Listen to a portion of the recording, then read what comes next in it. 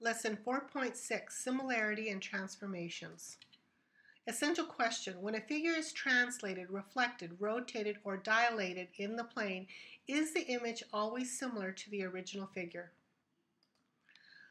So, what is similarity transformation? Well, a similarity transformation is uh, a dilation or a composition of rigid motions and dilation. So if you can perform these things and get one figure to map onto another, we call that similar figures. So here's a definition. Similar figures if and only if there is a similarity transformation that maps one of the figures onto the other. Okay, similar figures have the same shape, but not necessarily the size, the same size.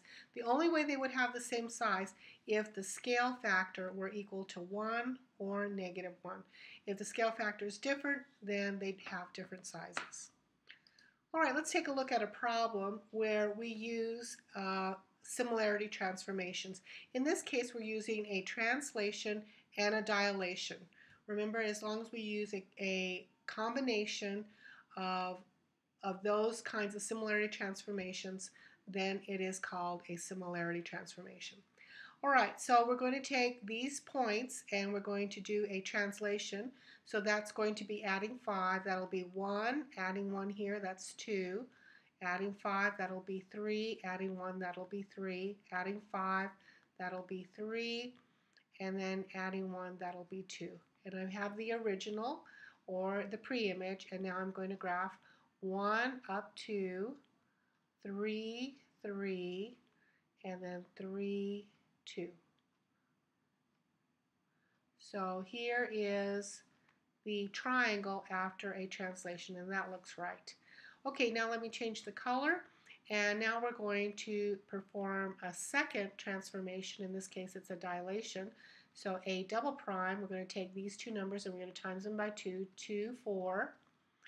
B prime is 6 comma 6 and C double prime is going to be 6 comma 4. Let's go ahead and graph that.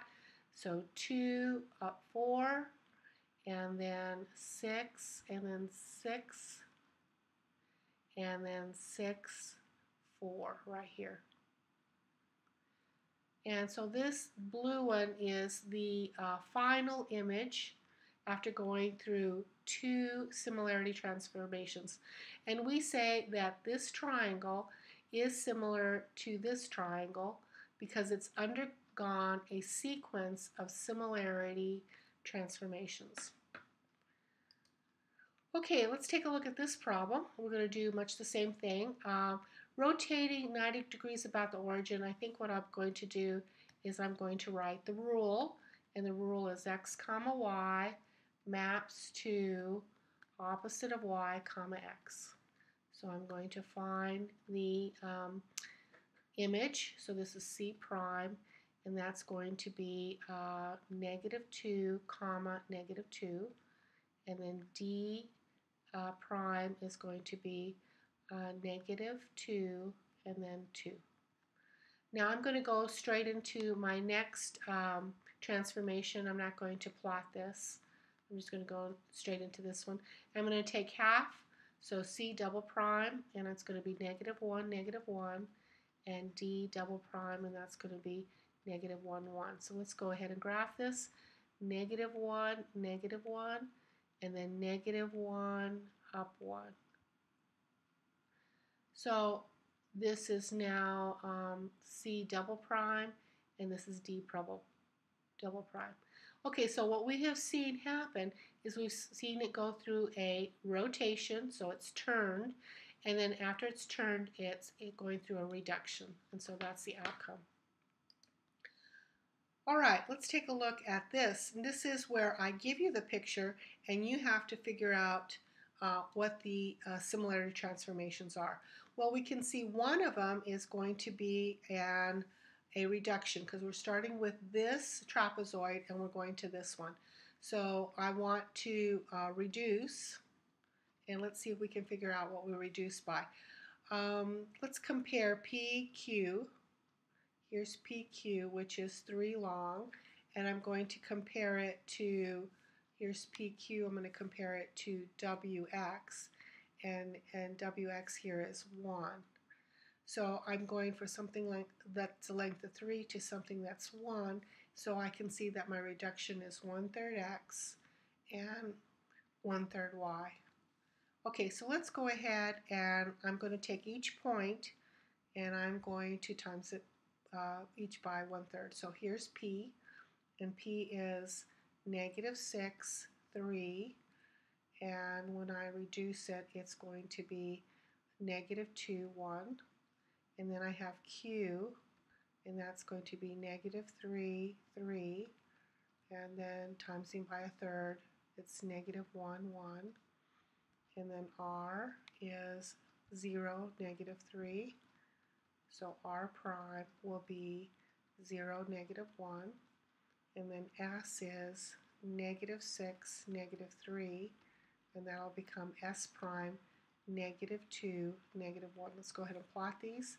Negative 2 up 1, negative 1 up 1, 0, negative 1, and negative 2, negative 1. Okay, so here is the image through the first transformation here.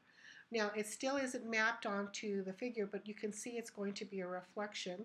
So the next thing that I want to do is after performing the dilation, I want to do a reflection across the uh, y-axis, so that's going to require this. And when I run this transformation into this, then I should be able to get the mapping. And so um, if I go ahead and operate there, I should be able to get uh, 2 comma 1 and 2 comma 1 is W. Okay, when I do this uh, reflection, I am going to get 1, 1, and 1, 1 is our x. And I'm going to do it again. This is going to be 0, negative 1. 0, negative 1 is my y. And then I'm going to go to negative 1 and 2 negative 1 is my z. So I have performed this, these two transformations, and they're part of the list of similarity transformations, and I got uh, PQRS to map onto this. Okay, your turn. Please stop the screencast and see if you can try to find a sequence of similarity transformations that'll map uh, DEFG to STUV. Stop the screencast. Okay, here's the answer. This is one possibility, and one possibility is to do a dilation on DEFG twice, uh, half as much. And when I do half, I showed you the picture of what it looks like half as much. And then this looks like it's a rotation, 180 degree rotation. And so I think it's this.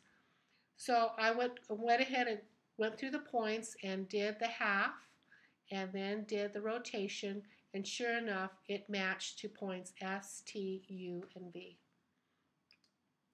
Okay, how can we prove a square ABCD is similar to another square?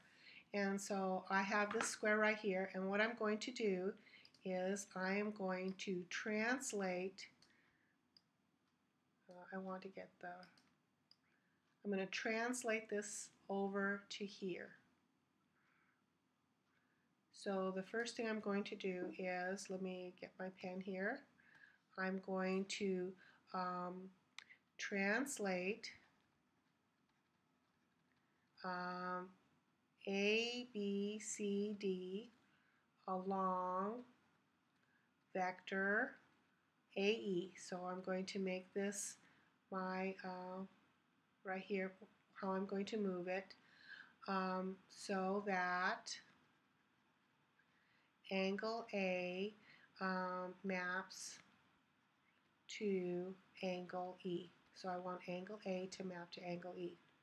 So I've gone through a translation. Now afterwards I want to dilate.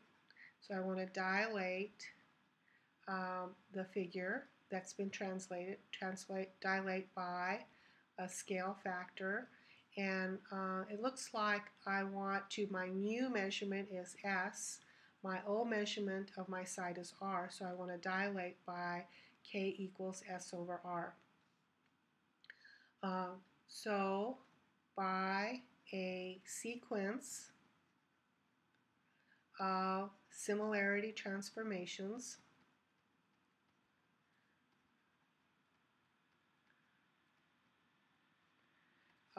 square ABCD maps to square EFGH. And when that happens, when you get this sequence of similarity transformations, then you know you have similar figures. All right, go ahead and you try this. You try to prove that the triangle is similar to the other triangle. Stop the screencast and see what you can do. And here's my answer. Translate uh, triangle JKL along uh, vector LP so that angle L maps to angle P. You want to move that triangle and then dilate the triangle um, with a scale factor of new over old. And so these triangles map to each other by a sequence of similarity transformations. And this is the end of the screencast.